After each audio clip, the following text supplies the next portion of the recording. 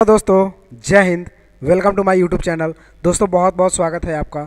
आज हम लोग इस लेसन प्लान में Tally E R P nine में परचेज और सेल्स एंट्री विथ जीएसटी के साथ करना सीखेंगे।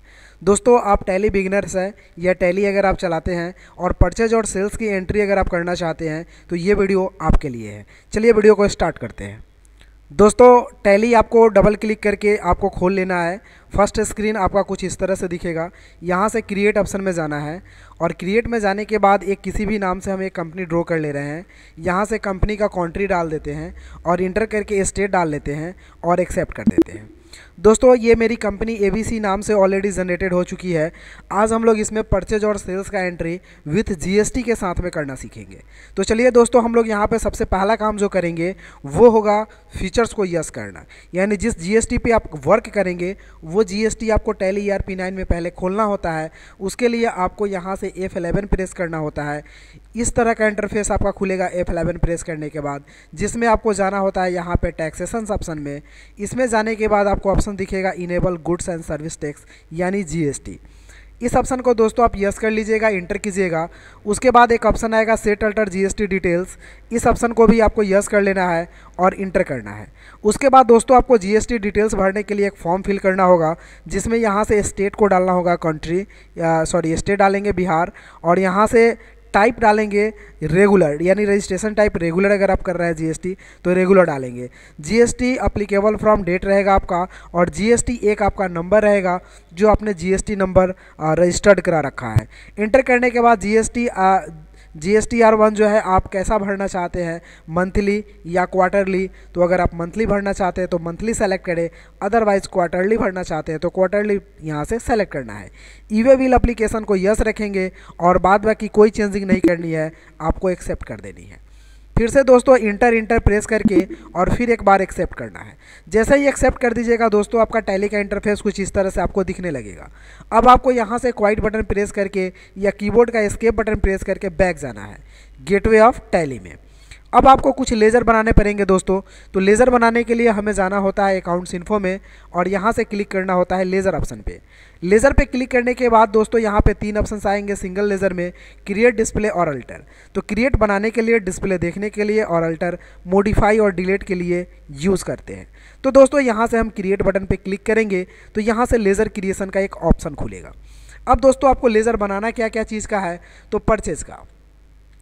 तो दोस्तों मैंने यहाँ पे टाइप किया परचेज़ अंडर जाएगा आपका परचेज़ अकाउंट में तो यहाँ से दोस्तों आपको सेलेक्ट कर लेना है परचेज़ अकाउंट इंटर करना है और इंटर करने के बाद जो है ये दोनों ऑप्शंस आपका, जैसे inventory values are affected yes रहेगा और type of ledger not applicable रहेगा जीएसटी अप्लीकेबल अप्लीकेबल रहेगा दोस्तों और जीएसटी डिटेल्स यहाँ से यस हो जाएगा इंटर करना है।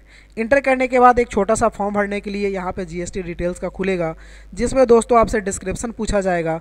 तो यहाँ से आप गुड्स डाल देंगे G double O D S enter करके आगे बढ़ेंगे तो एच एस एन कोड डालना है तो यहाँ पे नहीं डालना, आपको H S N code enter करना है। और नेचर ऑफ़ ट्रांजेक्शन्स में आइएगा दोस्तों तो यहाँ से परचेस टैक्सेबल आपको डालना है, जो कि सबसे नीचे आपको यहाँ पे मिल जाएगा। इंटर करना है उसके बाद टैक्सेबिलिटी दोस्तों टैक्सेबल रहेगा रिज़र्व चार्ज एप्लीकेशन नो रहेगा और आपका इनपुट क्रेडिट ऑप्शन नो रहेगा। इंटीग्रेटेड टैक्स 12 परसेंट, क्योंकि हम जो जीएसटी चार्ज कर रहे हैं वो 12 परसेंट टैक्स है तो यहाँ से 12 परसेंट सेलेक्ट करना है और सेंट्रल 6 परसेंट होगा। स्टेट दोस्तों यहाँ से छः परसेंट होगा केस ज़ीरो परसेंट रखना है और टाइप ऑफ़ सप्लाई में गुड्स को सेलेक्ट करना है और इंटर करके एक्सेप्ट कर देना है। तो दोस्तों एक परचेज का लेज़र जो है सक्सेसफुली क्रिएटेड हो चुका है।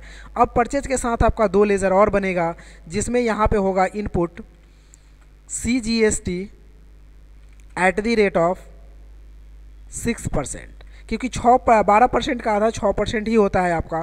तो input C G S T यानी सेंट्रल जी एस टी छः परसेंट जो कि अंडर आपका जाएगा ड्यूटीज़ एंड टैक्सेज में तो यहाँ से आपको सेलेक्ट करना है दोस्तों ड्यूटीज़ एंड टैक्सेज इंटर करना है टाइप ऑफ़ ड्यूटीज़ में यहाँ से जीएसटी को सेलेक्ट करना है, उसके बाद टैक्स टाइप में दोस्तों सेंट्रल सेलेक्ट करना है। क्यों करना है सेंट्रल बिकॉज़ यहाँ पे मैंने सी जीएसटी लिख रखा है तो यहाँ से सेंट्रल करना है।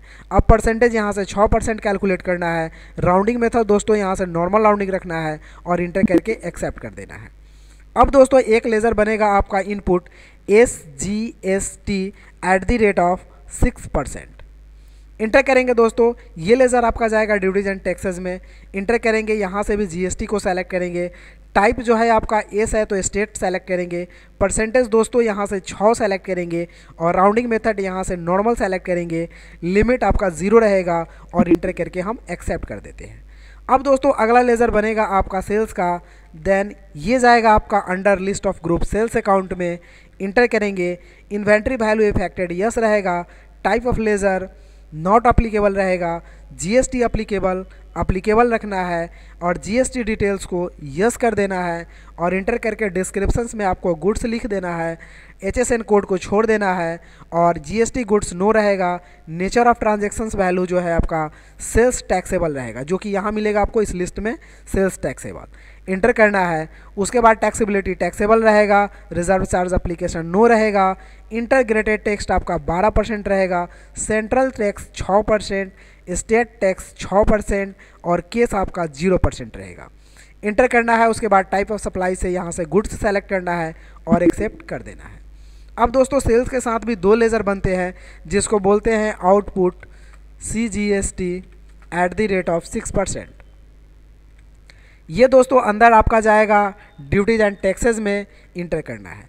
टाइप हो जाएगा आपका जीएसटी टैक्स टाइप हो जाएगा सेंट्रल परसेंटेज हो जाएगा आपका छः राउंडिंग मेथड नॉर्मल राउंडिंग और राउंडिंग लिमिट ज़ीरो और एक्सेप्ट अब दोस्तों एक और बनेगा output S G S T at the rate of six percent enter करेंगे दोस्तों, ये भी अंडर जाएगा ड्यूटीज़ एंड टैक्सेस में।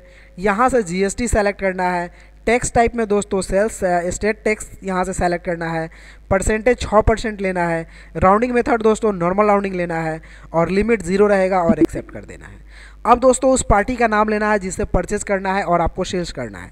तो परचेज करने के लिए दोस्तों एक राहुल का हम नाम बना लेते हैं, जो कि अंडर जाएगा आपका संडी क्रेडिटर क्योंकि किसी भी व्यक्ति से अगर आप दोस्तों परचेज करते हैं तो उसका लेज़र संडी क्रेडिटर में जाता है।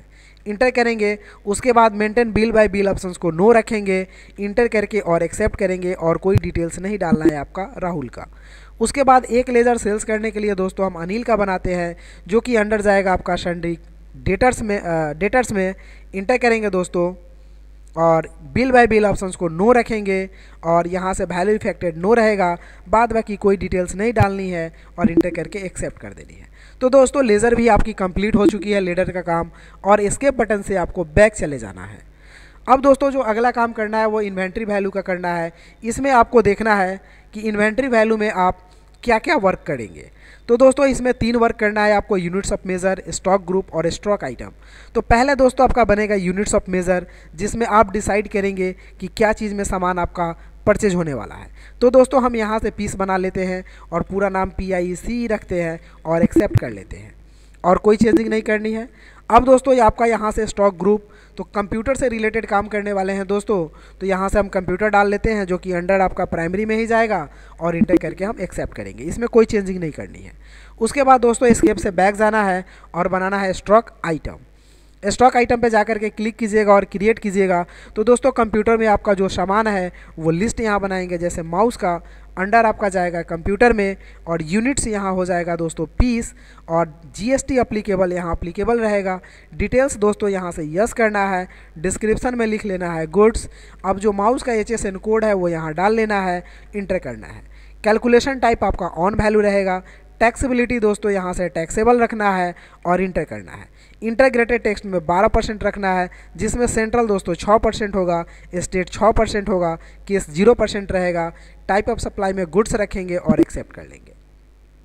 अब दोस्तों माउस का कंप्लीट हो गया आपका, उसके बाद बनाते हैं K E Y B O A R D keyboard का। ये अंडर दोस्तों आपका कंप्यूटर में ही जाएगा इसका भी यूनिट्स पीस होगा जीएसटी अप्लीकेबल होगा। डिटेल्स को दोस्तों आपको यस लिखना है इंटर करना है। डिस्क्रिप्शन में दोस्तों आपको गुड्स लिखना है। एचएसएन कोड जो कीबोर्ड का है वो डाल देना है। ऑन वैल्यू रहेगा कैलकुलेशन टाइप टैक्सेबिलिटी दोस्तों यहाँ से टैक्सेबल रहेगा। और कोई ऑप्शन में चेंजिंग नहीं करनी है। इंटरग्रेटेड टैक्स दोस्तों आपको 12 परसेंट रखना है। सेंट्रल 6 परसेंट रखना है। स्टेट 6 परसेंट रखना है। केस ज़ीरो परसेंट रखना है। टाइप ऑफ़ सप्लाई में गुड्स रखना है और इंटर करके एक्सेप्ट कर देना है। अब दोस्तों, इसके बटन से बैक जाना है। अब आप परचेज और सेल्स एंट्री के ट्रांजेक्शन के लिए तैयार हो चुके हैं दोस्तों। इतने सारे वर्क करके परचेज और सेल्स एंट्री का ट्रांजेक्शन बिल्कुल आप आसानी से कर सकते हैं। ट्रांजेक्शन करने के लिए ट्रांजेक्शन्स के अकाउंटिंग भाउचर में जाएँगे दोस्तों और परचेज खोलने के लिए एफ़ नाइन प्रेस करेंगे। ऑलरेडी यहाँ पे भी दिख रहा है आपको एफ़ नाइन प्रेस कीजिएगा परचेज खुल जाएगा, जिसमें सप्लायर्स इन्वेस्ट नंबर पूछेंगे तो एक डाल देना है डेट आज का डाल देना है। पार्टी नेम में हम राहुल बना रखे हैं परचेज के लिए तो राहुल डाल देंगे और इंटर करके नीचे आएँगे। लेज़र दोस्तों परचेज का डालेंगे। सामान का नाम मेरे पास दो सामान है तो कीबोर्ड है हंड्रेड पीस ले रहे हैं सिक्स हंड्रेड के रेट से, और एक माउस ले रहे हैं दोस्तों यहाँ पे, मान लिया जाए दो सौ पचास पीस 120 के रेट से इंटर करेंगे। उसके बाद दोस्तों अगला कोई आइटम आपके पास नहीं है तो आप यहाँ पे एक बार इंटर और ज़्यादा करेंगे और परचेज के साथ लगता है दोस्तों input C G S T और input S G S T तो एक सेलेक्ट करेंगे input C G S T automatic amount दोस्तों यहाँ आपका कट जाएगा, जो टैक्स का वैल्यू होगा। उसके बाद दोस्तों डालेंगे input S G S T enter करेंगे और एक नरेशन लिखेंगे, यहाँ पे डिटेल्स ई बिल का डालना है तो यहाँ पे आप डाल सकते हैं एड्रेस वगैरह और इंटर करेंगे। और यहाँ पे इंटर करके नरेशन लिखेंगे B E I N G purchase और दोस्तों हम एक्सेप्ट कर लेंगे। उसके बाद दोस्तों आपको सेल्स का ऑप्शन करना है। तो सेल्स का शॉर्टकट की होता है एफ़ एट तो यहाँ से क्लिक करेंगे एफ़ एट सेल्स एंट्री के लिए। रेफरेंस नंबर डालेंगे, जैसे ज़ीरो दो। यहाँ से पार्टीज़ ने मनील डाल लेते हैं और इंटर करके दोस्तों हम यहाँ से नीचे आएँगे। उसके बाद सेल्स का लेज़र डालेंगे। सामान अब आपके पास अवेलेबल है कीबोर्ड का सौ पीस। तो पचास पीस बेच रहे हैं हम। सपोज़ नाइन हंड्रेड के रेट से इंटर करेंगे और माउस को यहाँ से हम मान लिया जाए हंड्रेड पीस बेच रहा है, सपोज़ थ्री हंड्रेड के रेट से इंटर करेंगे। उसके बाद एक बार इंटर करके दोस्तों यहाँ पे आपको लगाना है output C G S T छः परसेंट, ऑटोमेटिक टैक्स कट जाएगा दोस्तों और output S G S T छः परसेंट। इंटर करने के बाद यहाँ से दोस्तों ई वे बिल का डिटेल्स अगर डालना है तो यहाँ से डाल सकते हैं अदरवाइज़ इंटर करके हम आगे बढ़ेंगे और एक नरेशन यहाँ टाइप करेंगे B E I N G H O L D sold और इंटर करके दोस्तों हम इसको एक्सेप्ट कर लेंगे। तो इस तरह से दोस्तों परचेज और सेल्स का ट्रांजेक्शन आप विथ जीएसटी के साथ टैली ई पी नाइन में कर सकते हैं। दोस्तों, वीडियो कैसा लगा? कमेंट करके ज़रूर बताइएगा। आप मेरे चैनल पर नए हैं तो प्लीज़ चैनल को सब्सक्राइब ज़रूर कर लीजिएगा और एक लाइक भी कर दीजिएगा। फिर मिलेंगे हम लोग अगले वीडियो में। तब तक के लिए take care, have a nice day, bye bye, thank you.